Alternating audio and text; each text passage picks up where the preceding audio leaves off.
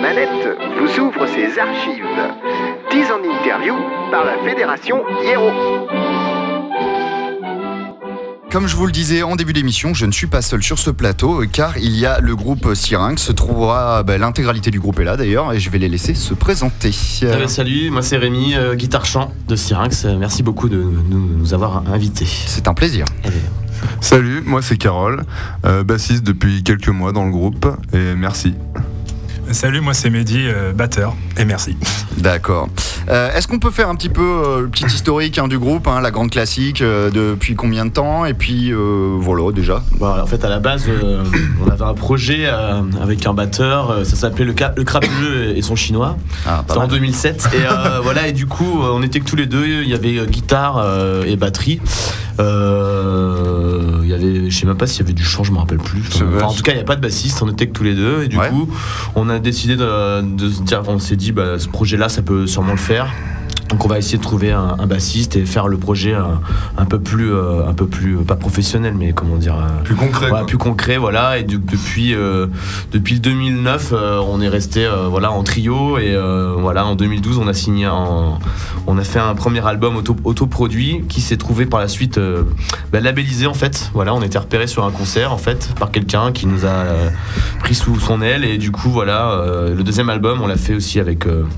Avec ces gens-là qui ont financé quasiment tout le produit. Donc, euh, donc voilà. Et puis là, on a changé de batteur depuis un an et de bassiste aussi. Voilà, parce que Donc il n'y a plus que toi quoi. il y a, y que la plus que formation moi de- de voilà. voilà, c'est ce, voilà. D'accord. Euh, on- sans se coller une étiquette, c'est toujours compliqué. Maintenant, on peut parler quand même d'un style musical. On peut parler de, mu- de rock extrême. Euh, Ouais, c'est ça. Enfin, c'est Oh, c'est du death. Hein. Ouais, c'est métal. ouais, c'est métal. Ouais, en, en gros, c'est toujours, on dit euh, métal, euh, brutal death, euh, voilà, avec Ouais. euh, des passages un peu, un peu black, mais ça reste euh, musique extrême, effectivement. euh, voilà. Donc euh, des satanistes qui égorgent des poulets pour invoquer des forces tout. occultes. Exactement, exactement. C'est- comme ça qu'il faut qu'on nous voit, quoi. Parce que on se cache quand même pour le faire. Parce qu'on en a déjà parlé à, à cette antenne d'un article qui était sorti justement sur euh, l'IRMA, là, sur la France aime-t-elle le métal, avec euh, des, des éléments sur euh, Ouais. le métal en France où finalement c'était encore super mal vu comparé à pas mal d'autres pays européens. Est-ce que vous, vous le ressentez au quotidien? Bah, Euh, Euh, Quand tu parles avec des gens qui n'écoutent pas ce style de musique Ouais. en particulier, c'est vrai qu'on est presque obligé de donner des noms et de les classer, même si nous on n'a pas forcément envie.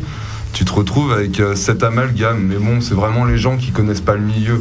Après, tous, les, tous ceux qui écoutent euh, euh, le métal en général font quand même la distinction. On est, entre euh, je pense qu'on est les aussi- musiciens et les sataniques. Quoi. aussi mal vu que, que certains artistes de hip-hop ou, Ouais, de rap. C'est vrai. De toute façon, dans, tous les styles, tu retrouves ça aussi. Voilà, des musiques qui vont partir un peu à l'opposé d'une ligne euh, correcte, du, en fait.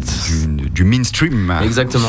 Et, et justement, le fait d'être un petit peu euh, à part, euh, de temps en temps, il y a des artistes qui se disent Bah ouais, mais moi, d'avoir un style complètement à part, une niche, entre guillemets, euh, un, un style bien identifié, ça permet peut-être euh, d'avoir un réseau. Est-ce que euh, c'est le cas aussi où vous, Oui, bah, il oui. y a des groupes, vous alliez voir tel type de concert, vous avez rencontré machin, etc.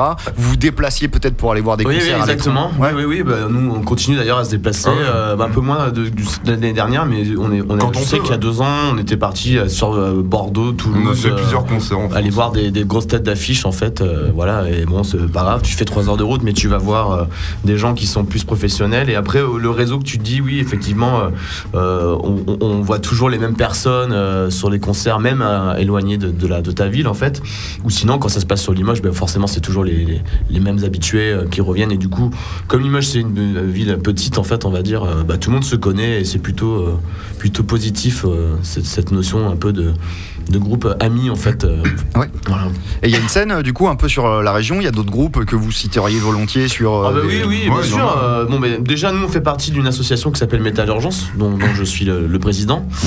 Euh, et donc, euh, oui, donc on y a, il y a les Barbarians Koala, qui ont Mhm. joué la semaine dernière, du coup, même au Zigzag, en première partie de Cortez. Euh, Il y a un groupe qui s'appelle Eustre, qui font du métal indus, avec euh, des samples, des choses comme ça, euh, un peu électro.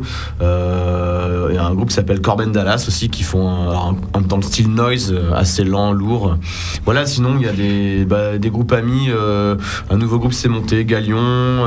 Il y a Humanity Between Two Walls. Je vais en oublier, mais. Ouais, moi aussi, du coup, mais t'as- plus de mémoire que nous, Exécution, Exécution qui font aussi dans, dans un style plus, Mais il y en a, plus ouais. extrême. Il y a Unsafe. Je sais pas, enfin il y en a plein quoi. Comment vous définiriez ce que cherchent du, du coup des scènes Tu parles, ouais, on parle de musique. euh, enfin, je dis extrême parce que peut-être Ouais. que c'est un mot qui parle aux gens. J'en sais rien d'ailleurs. Je suis oui, peut-être à côté de la, de Non, la mais- plaque. hein. Mais euh, mais est-ce que finalement c'est par recherche esthétique qu'on va être un petit peu sur euh, une musique euh, bah, hurlée ou ce genre de choses, ou est-ce que quasiment euh, il y a aussi le le, le, le fait de, du côté défoulement euh, qui est présent parce que finalement souvent les deux sont opposés il y a la recherche vraiment esthétique où je vais me mettre dans le volcan sonore hein, évidemment euh, il y, a, il y a de la dose de son il y a machin parce que je recherche ça pour les sensations que Bah, ça peut procurer C'est un ensemble, c'est un C'est un ensemble. ensemble. C'est tout ce que tu viens de dire déjà. Et en plus, tu dis euh, euh, musique extrême. Ça l'est forcément de, de par le fait du, du côté physique. Ouais. C'est-à-dire que même quand tu es musicien et que tu fais du death metal en général, de toute façon, il y a un aspect physique indéniable que tu peux retrouver dans d'autres styles, mais pas forcément. C'est sûr que si tu fais du jazz, tu peux être un spécialiste, ça va pas être la, la- la même énergie. Oui, Et, c'est et sûr. c'est pas forcément, du coup, c'est vrai que c'est intéressant. euh, en amont, c'est pas forcément la, la même chose qui est requise, qui est, qui est demandée même par les musiciens. C'est clair que nous, il y a, il y a de l'énergie, il y a, il y a une sorte de défouloir, il y a quelque chose à, à, à partager. Et, euh, et c'est clair qu'en général, même si c'est le cas pour, euh, pour, pour la plupart des musiciens, on va chercher ça au fond de nous. Et ça nous sert de- d'exutoire, ça c'est clair.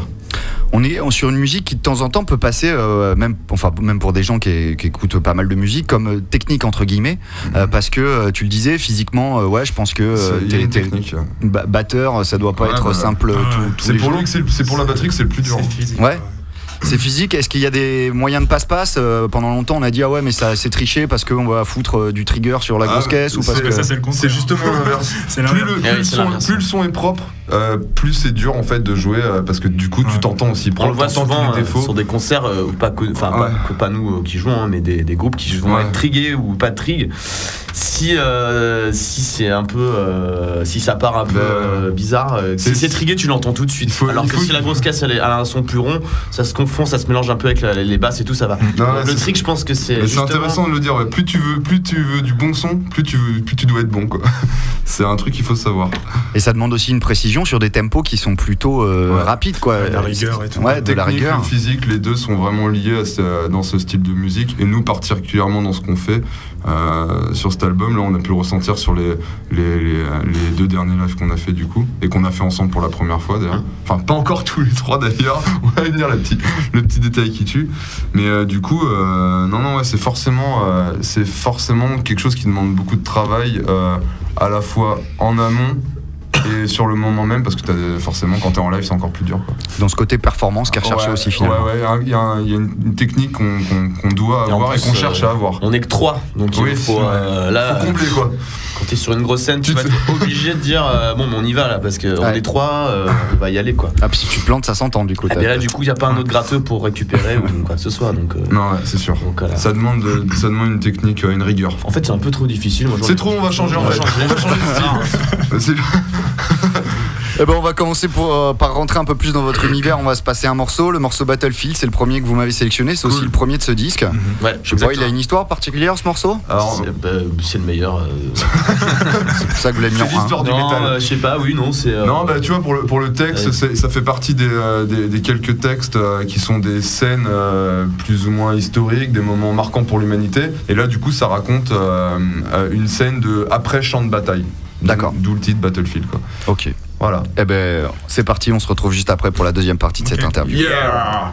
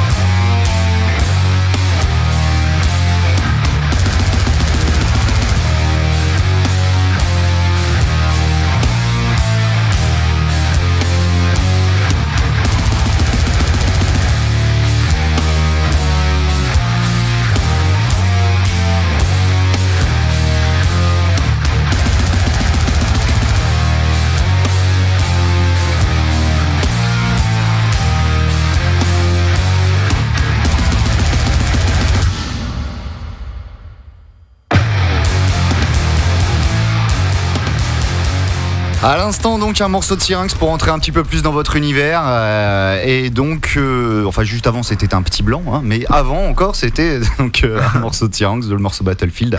On revient sur l'antenne de l'émission Manette et on discute toujours avec Syrinx et on va parler un petit peu des, des projets qui arrivent. Alors, d'abord, cet album qui est sorti, qui est encore complètement d'actualité puisqu'il est sorti en septembre 2013. Ouais. Ouais. Et vous avez un label, ce qui est assez rare pour les groupes du coin. Eh ben, oui, oui, c'est vrai. On a eu la chance de, de- de, de rencontrer euh, quelqu'un qui, s'appelle- enfin, qui s'appelle Christophe, qui travaille sur OMC.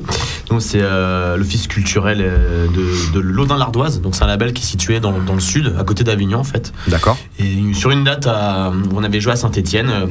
Il, était, il jouait aussi avec son groupe et euh, voilà, il nous a filmé, il nous a dit j'ai vraiment aimé ce que vous faites. Euh, bon, souvent tu vois des gens qui te parlent à la fin du concert euh, et puis tu, tu, tu ne les revois plus ou ils te disent qu'ils vont t'envoyer des photos, des trucs comme ça, ça se fait pas. Et lui m'avait renvoyé tout de suite le DVD euh, et il m'avait dit bah, si vous voulez, je peux vous signer. Euh, voilà, donc, euh, et puis quand on a eu les papiers, le contrat à signer, on a fait bah, c'est cool, on y est là.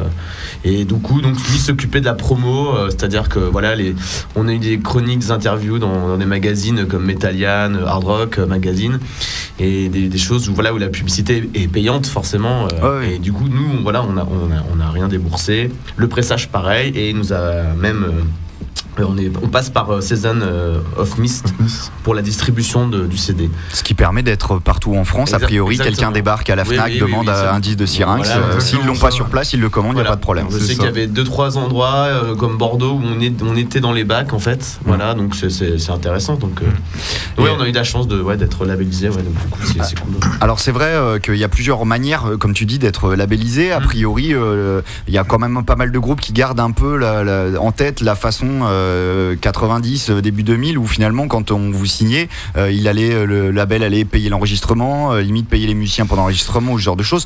Euh, on n'est plus là-dedans Ah, aujourd'hui en tout. 2013. Ah, non. hein. Non, même nous, là, on a eu la chance d'avoir un financement, quoi, enfin, de ce côté-là. Après, bon, le- nous, le studio, on a, on a payé le studio, en fait. Ouais. Mais c'est vrai que maintenant, tu as des labels où je comprends pas trop l'in- l'intérêt de- d'être signé chez un gars ou un- une équipe de labels qui te demande 2 ou 3 000 euros. Ouais. Et tu vas juste avoir euh, le pressage, en fait. Tu t'es déjà tapé euh, le studio à Mm. payer, donc euh, je vois pas l'intérêt finalement. Ouais. Autant l'autoproduire, nous, ce qu'on avait fait pour le premier, on avait fait tout, tout nous-mêmes. Mm.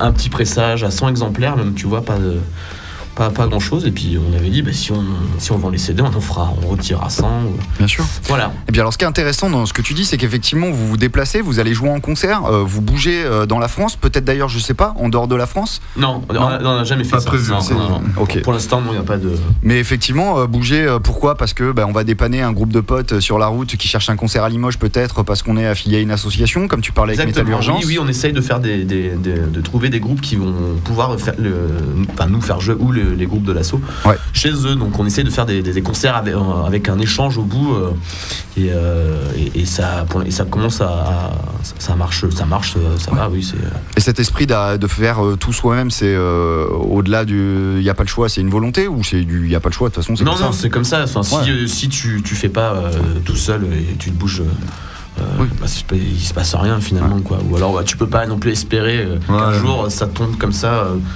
T'as une part d'autoproduction à fournir de toute façon. quoi. Et, euh, et donc cher. effectivement, euh, effectivement, vous êtes euh, le bel exemple de dire c'est pas un groupe qui trouve un label, c'est le label qui trouvera le groupe Ouais. parce que justement on est présent, on Ouais. existe Ouais, sur ouais, la toile, jamais, en concert. C'est vrai que j'ai jamais démarché de label euh, parce que ça a l'air très compliqué et, et que voilà, et cette façon-là de, de, Mm, de se trou- retrouver avec quelqu'un qui, voilà, qui nous prend sur son aile euh, en nous ayant vu, moi je trouve ça euh, Ça a plus de plus, sens euh, artistiquement. plus quoi, hein. glorifiant même. Bah ouais, ouais. Non, mais c'est même logique quoi. Voilà.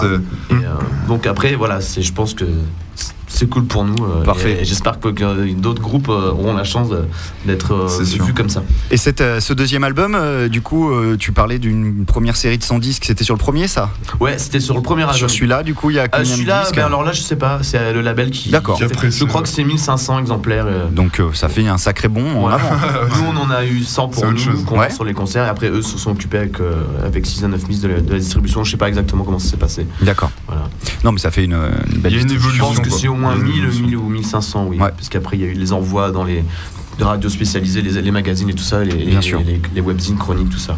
Alors tu parlais aussi tout à l'heure que euh, de certains magazines, euh, euh, ce que tu as cité, où euh, tu dis les interviews sont payantes. Et effectivement, il y a pas mal de groupes qui s'en rendent pas compte et qui ont l'impression, mais Oui, et souvent, eh ben, même moi je le savais pas, Ouais. jusqu'au jour où le label me fait Oui, mais en fait on a déboursé tant pour, pour ce Ouais. magazine-là. Alors c'est un pack, c'est un pack promo hein, que tu achètes tout simplement avec ta photo, une chronique et une interview d'une page à, à quatre. Et là c'est toujours entre les, dans les 300 euros, on va dire. Hmm. Alors a, par rapport à pri- ça, quoi. a priori, euh, c'est une pratique qui est réglementée en France. Donc Ouais, a priori, ouais. c'est que le label a dû acheter une pub. C'est ça. ouais. Genre, genre, il a Ouais. acheté une pub et en échange, on lui a fait euh, l'interview du groupe. Euh, Peut-être, oui, voilà. oui, oui, Parce enfin, qu'a- c'est- a, c'est- a priori, c'est une interview passe. euh, Ouais, ne, voilà, ne c'est doit pas être monnayée sous C'est cette forme-là. Mais, euh, mais effectivement, ouais, c'est c'est comme ça que ça fonctionne. Et disons-le au groupe, hein, quand vous Ouais, voyez la plupart du temps des articles dans la presse C'est nationale. pas parce que le, le- le- le magazine trouve bien, euh, parce que si tu mets euh, 500 euros, t'inquiète, ils vont, ils vont te mettre en, Voilà. couverture. Ouvrez, les ouvrez les quoi. yeux. Le coup, le coup de cœur existe. hein. Non, ça existe. Il y a, il y a Oui, quelques, oui, il y a quelques sûr. colonnes qui Mais je- doivent être réservées au coup de Heureusement. cœur. Je pense, heureusement. heureusement oui. Mais, euh, mais effectivement, euh, c'est pas la, la majorité. Euh, pour les dates, du coup, ça veut dire que vous trouvez les dates euh, 100% vous-même, euh, par échange, Eh par ben, réseau, là, du par. coup, euh, c'est un peu moitié-moitié. Le label nous, nous, en, Ouais. nous en trouve et euh, nous, on, en trouve aussi de notre côté. Donc voilà. Donc là, on va repartir plutôt au mois d'avril euh, parce que notre Mehdi euh, s'était blessé. Donc à la batterie, on a dû faire une pause. On a, on a eu un, un concert où on a remplacé euh, Mehdi par euh, l'ancien batteur qui nous a dépanné au festival de Noël à John Lennon. Là. Ouais. Voilà. Et sinon, la dernière fois, on a carrément joué sans batterie avec un sample. Avec le, avec le les prises, de euh, les ouais. prises son euh, de, de- de studio qu'on a fait pour jouer à Avignon justement là, il y a, y a pas la semaine là. dernière du coup. Et là, font un bon retour pour être sûr Ouais, d'être en place. Ça va, Bah, c'était là, là, on a- ça on a va. repris les répètes c'était- avec lui C'était c'était cool et puis on avait un bon son sur le plateau donc ça va quoi. Mais bah là on était que deux donc euh, voilà. mais Ouais, mais fait c'était une ex- expérience, expérience comme une autre. voilà. Donc là les concerts on va les reprendre oui au mois d'avril. Donc euh, on va essayer. Donc là on a des, des dates de Calais donc le 18. 18 Saint-Etienne à confirmer, 19 avril ça c'est bon à Marseille au local, le 20 à Montpellier au Secret Place, ça c'est des trucs euh, concrets. Euh, au mois de mai on a un concert à Clermont-Ferrand, alors j'adore le nom du, de l'endroit, c'est un petit cave qui s'appelle le Raymond Bar. Ouais. Voilà, donc ça, Très, très connu des, des groupes de rock. voilà, ouais, ouais. Et après, sûrement, on va participer au festival de Saint-Fiel Ouais. en fin, fin, le dernier week-end de mai. Et puis après, on est sur des, des projets euh, avec des webzines. Alors, euh, on a rencontré les gars de French Metal Ouais. Mhm. qui, nous, qui vont sûrement nous faire jouer sur Paris. euh, voilà, puis moi, j'ai d'autres contacts sur euh, Bergerac, des choses comme ça, où, voilà, où ça va. On, on va... Qui devrait pouvoir se, Oui, bien se passer. Ouais, ouais, ça va pouvoir se faire. Impeccable. Euh, des projets en cours parce que bon, déjà là, ça va tourner sur l'album, j'en suis convaincu. Ouais, ouais, ouais. Euh, Il y a de plus en plus de groupes qui passent par la case clip. Vous y songez vous euh, Pour l'instant, on n'a pas, on tellement parlé. On voudrait se- bah, vu qu'en en fait on a quand même eu la pause tu vois avec Mehdi qui s'est blessé. Donc de toute façon tout s'est un peu décalé. Là finalement on vient juste de reprendre Oui, que- correctement tous les trois. Donc de toute façon il y avait un petit break là comme dirait on n'a pas forcément parlé de certaines choses parce que c'était pas évident. Normal. mais après euh, on, on- on aspire à évoluer de toute façon à notre rythme. Pas forcément à, à- à outrance et pas n'importe comment. Mais euh, bon déjà on a une bonne année devant nous. On va essayer de faire un maximum de dates Euh, après un clip, euh, oui, ça peut et après un clip ça peut se faire ça- on n'est pas des- contre on n'a rien contre On a des amis qui, qui, Voilà, qui, on- qui sont là-dedans un peu. C'est ce, qui- euh, c'est ce qui est pratique maintenant, t'as vu, avec l'évolution du matériel Ouais, en plus. tu peux faire plein de trucs par toi-même. Il reste à trouver l'idée, le temps et puis voir Voilà, comment ça se place dans le calendrier. Non, et puis Exactement. on veut faire les choses bien aussi, quoi. Tu vois, Sinon, on, a, ouais, on compose, enfin, on va. On va Par contre, on a, ouais, on a même déjà deux commencé nouveaux morceaux parce qu'on forcément on va faire on fera un troisième album je sais pas encore quand mais on, on parlera Ouais, pas attendre non plus euh, de 3 4 ans Non, non, non, non. voilà donc on continue à composer et puis là on reprend on reprend les répètes pour euh, voilà pour les dates à venir et, Mm. donc je pense qu'on est euh, Mais le but, c'est ça, c'est de, de bien euh, de gagner en expérience tous les trois, Mhm. et notamment sur la scène. Et déjà, on répète, on cool. répète assez régulièrement euh, c'est Ouais. assez euh, c'est assez sérieux donc Ouais, c'est c'est un pro- bah, De toute façon, Ouais, je pense que pour arriver à ce résultat, on est obligé Ouais, d'avoir ouais, euh, une certaine hygiène. Ouais, puis on- On- Je suppose que ça veut dire en concert aussi euh, pas être sur le, le, le- Ouais, le punk de base qui va se mettre euh, un Ah, peu ça- trop de bière derrière peut- le cornet avant de jouer, Il peut y avoir des petits moments, tu vois. Il peut y avoir des petites surprises. occasions, des surprises. Non, mais après, Ah oui, t'as tout à fait raison. Dans, l'ensemble, il vaut mieux Ah, faire, l'after. ah bah oui parce que de toute façon tu peux pas tenir ça sert à rien même si tu Bah, bosses, d'ailleurs, on a, on a peut-être un week-end avec trois dates qui, vont s'enchaîner, donc on va bien, on va tester. C'est tu ça. vois, on, te- on- on viendra te voir. Voilà, exactement. Ou on, pas. Se, on se reverra après. on les sera pas capable. Non. En tout cas, je vous remercie. Euh, Peut-être vous pouvez citer euh, les gens qui voudraient en savoir un peu plus sur vous. Il y a sûrement site web, euh, réseaux sociaux, etc. Mais il y en a peut-être un à mettre en avant plus que les autres. Bah, en fait, euh, Le fa- si vous le Facebook de Syrinx, pour déjà. écouter, alors déjà oui, on a un Facebook, on a une page Facebook, voilà. Sinon, euh, syrinxmetal.bandcamp.com. Ouais. Voilà, sur Bandcamp, on a on a mis trois morceaux de. Et t'as le lien sur la page Facebook Oui, là, y a- le Juste lien en dessous du nom, il y a le lien. Voilà, donc euh, c'est euh, du Bandcamp. euh, syrinxmetal. Du point Bandcamp. bandcamp.com. Bandcamp. Bandcamp. Please- Please. voilà. Et donc, sinon, on n'a pas de on n'a pas de site parce que je pense que tout se passe sur les réseaux sociaux maintenant. Oui, donc, oui. euh, Ah, mais franchement, rien que Facebook déjà. voilà. donc, euh, On reçoit même nos messages privés, même de French Ouais, Metal, là d'ailleurs, tout. euh, euh, les photos, reçois avec tout, ça. euh, Tout, tout, ce que- donc, Avant, après. Ouais. Oui, c'est vrai que ça a pris un peu le, le- Ouais, le ouais. pas. hein. C'est pas mal ça. On va se mettre un autre morceau de l'album dans la tronche, c'est Liquid Snake euh, que vous nous avez choisi. euh, donc voilà, pareil pour représenter un peu. euh, c'est une autre teinte peut-être ou pourquoi le choix de ce deuxième morceau? Alors, euh, tu veux dire par rapport au, Ouais. texte ou. Oh, pas, pas que, même par rapport au morceau. Alors le thème, non, le thème en fait c'est sur l'alcoolémie. Ouais. Donc et euh, par contre tu remarqueras et on remarquera tous ensemble qu'il y a, il est en deux parties. Donc une première beaucoup plus mélodique, beaucoup plus euh, Avec une intro. mélancolique. euh, voilà, une, toute une intro. En acoustique. Et, euh, et l'explosion. Donc ce qui peut se rapporter aussi musicalement, qui peut très bien illustrer ce qui se passe quand on ingurgite un petit peu plus d'alcool que prévu. Tout va bien. Tout va bien au début, Ouais. tout est très bien, et puis ça C'est passe à autre l'atterrissage. chose. c'est Voilà. Lors de la crise. Donc euh, thème musical et, euh, et littéraire sur l'alcoolémie. Eh bien, impeccable. Merci de votre venue, c'était Bah, merci cool. à Bah, merci à toi. Ouais, c'est cool. Et puis, bonne continuation à vous, bon courage pour tout ce qui arrive. Bien, merci. Et donc, on se quitte avec Liquid Snake. Yeah, yeah. Metal.